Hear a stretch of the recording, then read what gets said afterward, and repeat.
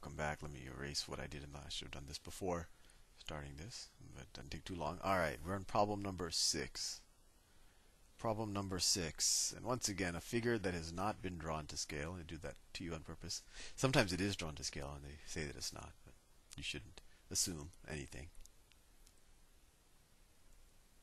All right, and they saying that this is 3x degrees. They say that this is 2x degrees, and they say that this is 4x degrees. In the figure above, three line segments meet at a point to form three angles. What is the value of x?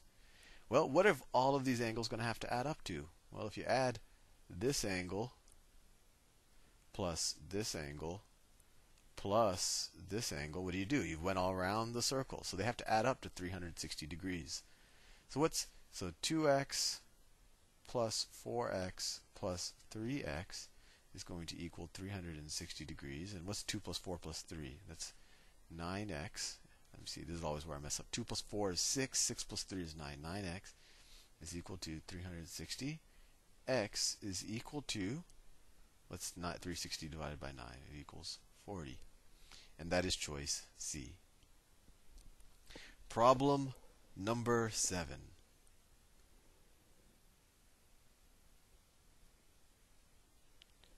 Seven. Positive integers x, y, and z. So they're integers. Satisfy the equations. x to the minus 1 half is equal to 1 third. x to the minus 1 half is equal to 1 third. y to the z is equal to 16. Okay, those are the two equations. If z is greater than y, so z is greater than y, what is the value of x plus z. This value of x plus z. So the, the, the trick is, because you say, well, how do I solve for this? Well, the trick is that you know that these are all integers. So first of all, let's do this. So x to the minus 1 half is equal to 1 third. That means that 1 over the square root of x, right? I just rewrote x to the minus 1 half as, you know, it, 1 half power is square root, and the negative means the inverse. So 1 over the square root of x is equal to 1 third. Or you could say the square root of x is equal to 3. x is equal to 9.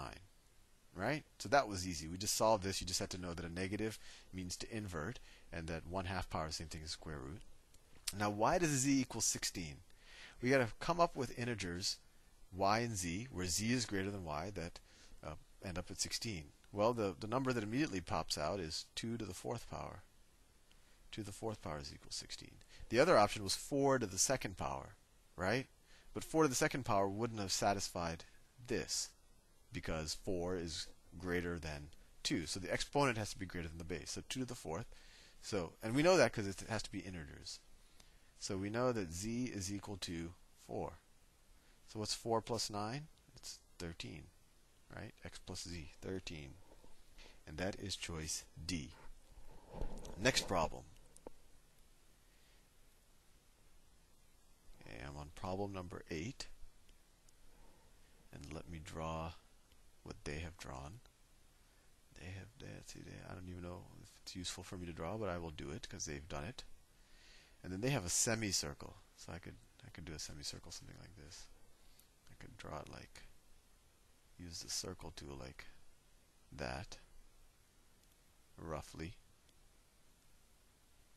It's good enough. I could erase the bottom if I wanted to but let's just assume that we only see this top part. And they say, so this is point, oh, whoops, I'm still using the line tool. This point is 4 comma 0. This point is 8 comma 0.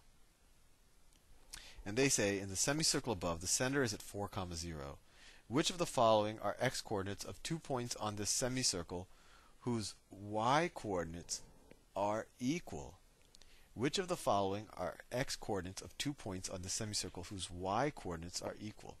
Well, this is a, this is an interesting question because it's not so much math, but really just getting, get, getting the intuition of kind of the symmetry of the circle.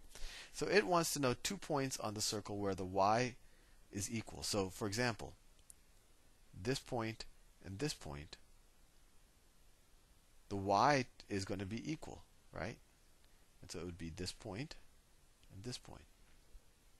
And similarly, we could, you know, we could say, well, this point and this point, the y's are equal. And if we take down, it'd be this point and this point. The key is, is any of these pairs of points have to be the exact same distance from the center. And that makes sense. If we go the same distance to the left and go up to the circle, and we go the same distance to the right and go up to the circle, they're going to intersect the y-axis at the same point. So we have to look at their choices and see which of their pairs of choices are equal distant from x equals 4. Right? Equal distance from x equals 4. So the first choice is 1 and 6. 1 is 3 less than 4, and 6 is 2 more than 4, so that doesn't work. Right? A is 1 and 6.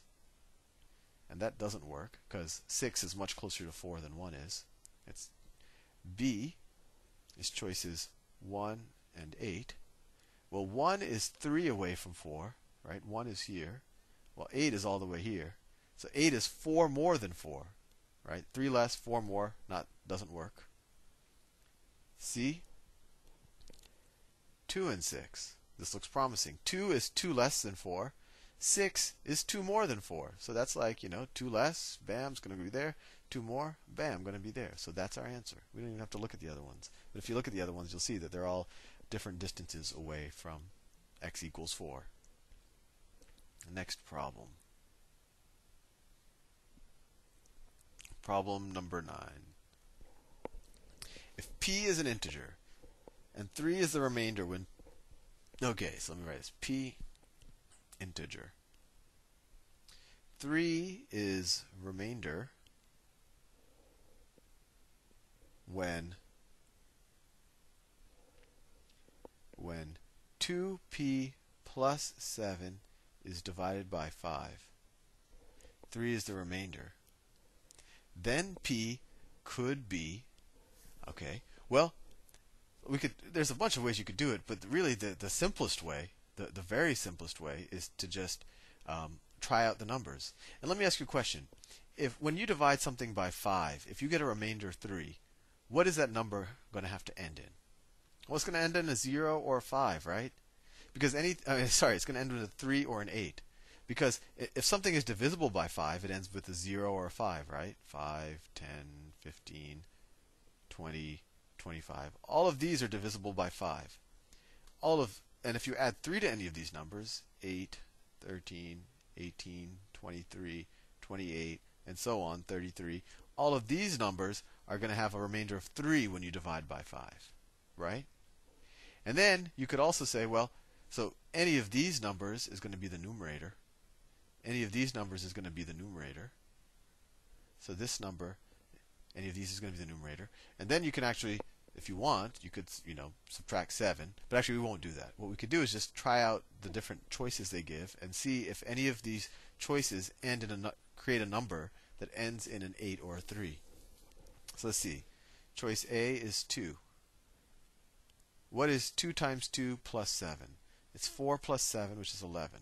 It's not that one because it ends with a 1. B, 3. 3 times 2 is 6. 6 plus 7 is 13. We're done. And you could try it out. If P is 3, 2 times 3 is 6 plus 7, 13, divided by 5. Well, the remainder is going to be, you know, 2 remainder 3. So it works. That, that was it. And it's good. We didn't have to waste time figuring out C, D, and E. Okay. And then, oh, I only have a minute left, so I will wait to do that, uh, the next problem in the next video.